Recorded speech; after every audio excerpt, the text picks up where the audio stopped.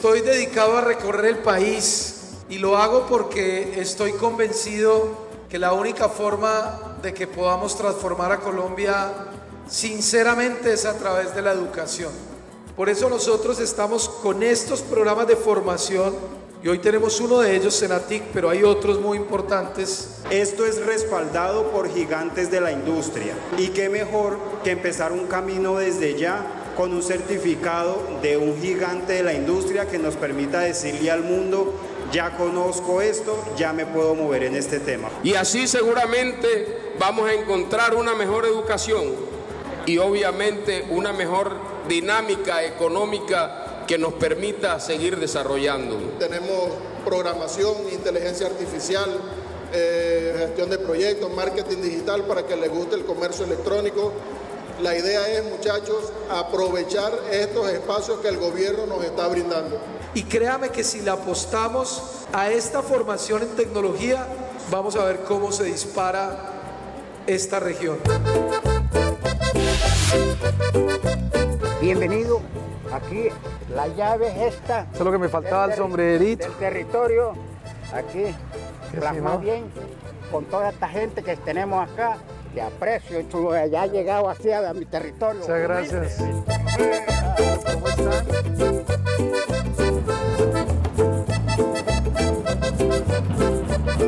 Le da la bienvenida al ministro TIC, a toda la delegación. Muy emocionado porque hoy estamos haciendo realidad lo que quiere nuestro presidente, el presidente Gustavo Petro, de trabajar con las comunidades. Hoy nosotros abrimos en el gobierno del cambio la posibilidad de que las comunidades puedan ser ellas mismas prestadoras del servicio de Internet.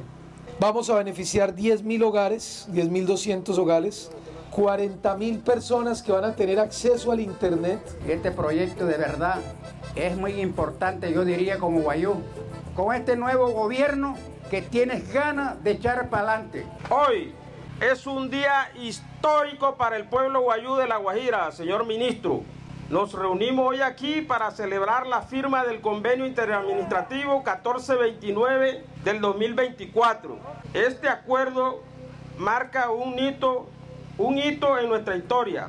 Gracias Gustavo por el wifi para hacer mis tareas y, ver los videos que yo quiera. Desde aquí, desde la ranchería del Pasito, estamos anunciando el inicio de 100 comunidades de conectividad. Un proyecto que, como lo van a ver, contiene el cable que llega ya a Riohacha, cable interoceánico eh, de alta velocidad y que lo vamos a llevar a 10.000 hogares y a 40.000 familias con las comunidades de conectividad.